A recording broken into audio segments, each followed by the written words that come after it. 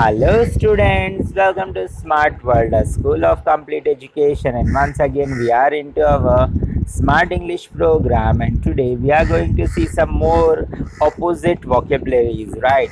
Sweet, meetha, bitter, kadwa. Educated, shikshit, uneducated, unpad. Big, bada, small, chota. Lucky, kismat wala, unlucky, badnaseeb. Right so this are the some vocabulary और words you have learn और हम अभी इस पर sentences देखेंगे। मिठाई मीठी होती है स्वीट इज़ स्वीट करेला कड़वा होता है तो ना अभी आप इसे ट्रांसलेट करने की कोशिश करो। ट्रांसलेट करने के बाद उसकी वॉकेबलरी भी आप उसके डायलॉग्स भी बनाओ, ठीक है? करेला कड़वा होता है। अमेरिका एक बड़ा देश है। भारत एक छोटा देश है। यह बच्चा किस्मत वाला होगा। वह गरीब, बदकिस्मत था। गाँव के लोग पढ़े लिखे थे, नहीं थे। वे अनपढ़ हैं। यह बच्चा बहुत किस्मत वाला होगा।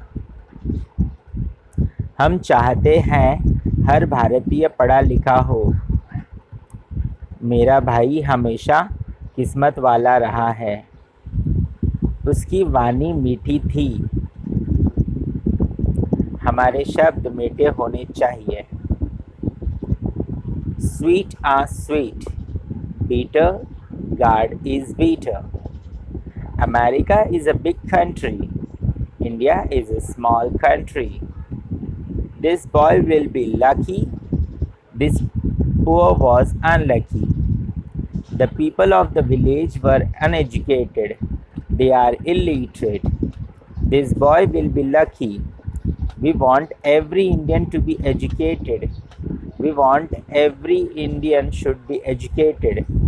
My brother has been always lucky. His voice was sweet. Our words should be sweet. Right right, so so, आपने देखा ये सारे सेंटेंसेस मैंने हिंदी में भी बताए और इंग्लिश में भी बताए तो आपको इसके पूरे डायलॉग्स बना करके बोल करके भेजना है। Right so all the best students उम्मीद करता हूँ आप करके जल्दी भेजोगे।